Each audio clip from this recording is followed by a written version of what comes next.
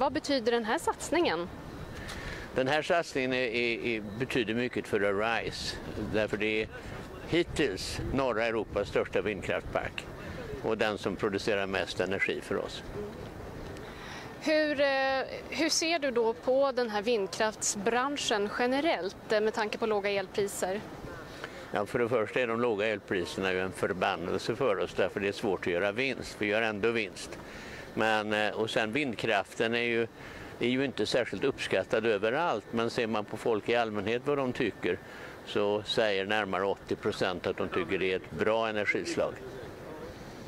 Men hur, hur, hur, ser du då på, på eh, Danmark som storsatsar på, på vindkraft? Det storsatsas ambitiösa byggen både i Sverige och Norge. Finland satsar på sin kärnkraft. Risken för överskott på elen? Även Frankrike, Spanien, Tyskland, England satsar mycket.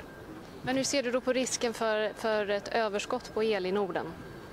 Ja, just nu är det ju ett överskott, eller har varit ett överskott. Det är det som gör att priserna är så låga.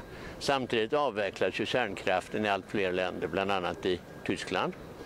Och, och det skapar ju ett behov av mer energi och renare energi.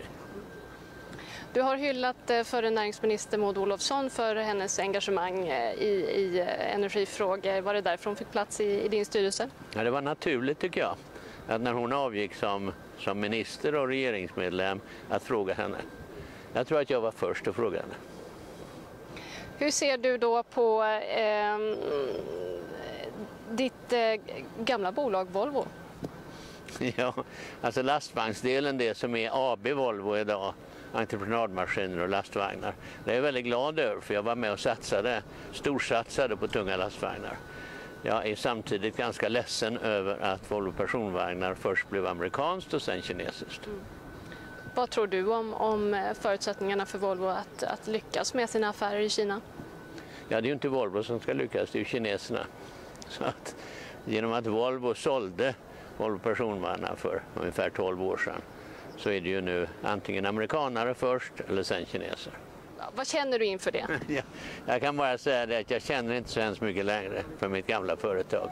Men det hade skett över min döda kropp att man hade sålt Volvo personvagnar.